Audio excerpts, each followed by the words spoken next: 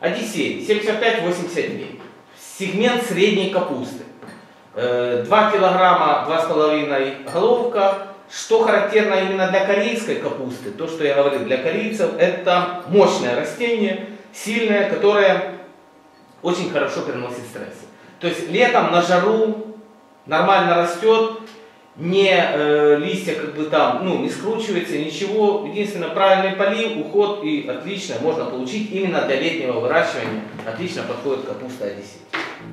Спасибо за внимание. С вами был ваш супермаркет семян. Подписывайтесь на наш канал и ставьте лайки.